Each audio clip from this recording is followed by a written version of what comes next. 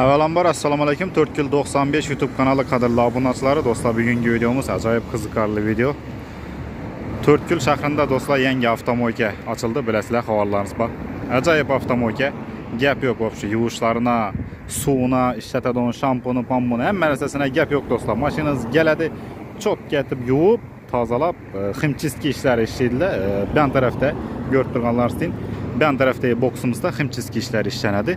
Hamda mashinangizni yuvib bo'lgandan keyin shu suxoy tumandan urib yuboradilar do'stlar. Ajoyib bo'ladi mashinangiz yaldirab chinnidek yaldirab turadi do'stlar. Adresni bir qator tushuntirib o'taman do'stlar. Bu yon tarafimiz qirqiz поворотdan kelishimiz. Avtovokzaldan o'tgandan keyin e, qirqiz поворотdan kelishingizda shu to'rtkil avtovokzali bor. To'rtkil avtovokzalidan bir yuz metr o'tganingizdan keyin chap tomoningizda joylashgan avtomoyka f1 deb yozib qo'yibdi do'stlar. Bu yon tarafimiz do'stlar e, berun ellik qaladan keladigan obunachilarimiz bo'lsa. Stolet maktab yonidan keladi.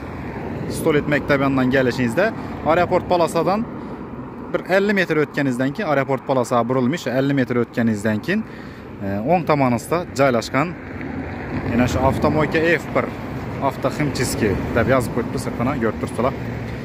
Meda dostlar gələsiz, maşınınızı tapşırasız, bemalol dəm alasız, oturasız, kofe içəsiz, başqa etəsiz.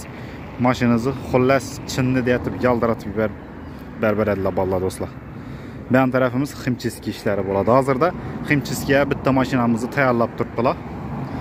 Hazır video damında bemalol görürük.